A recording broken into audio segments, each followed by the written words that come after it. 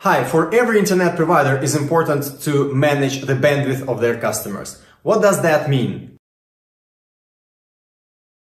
It means that some customers will get limitation of speed according to their plan, but to some customers we can afford to give more speed, uh, for example, during the night hours. Or if someone is downloading too much, we can limit his uh, bandwidth a bit. Or we can apply contention scenario like here is in that example.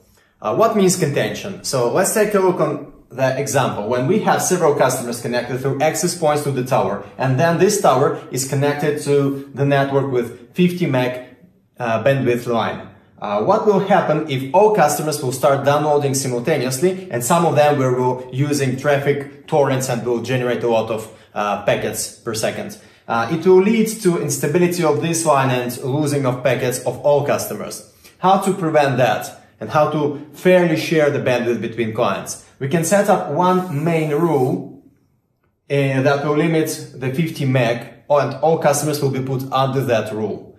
You will see that these customers then will share the speed and this is called contention. This can be done and achieved with the Splynx software and MikroTik router OS. Contact us to get more information about how this can be done and how your bandwidth management can be improved.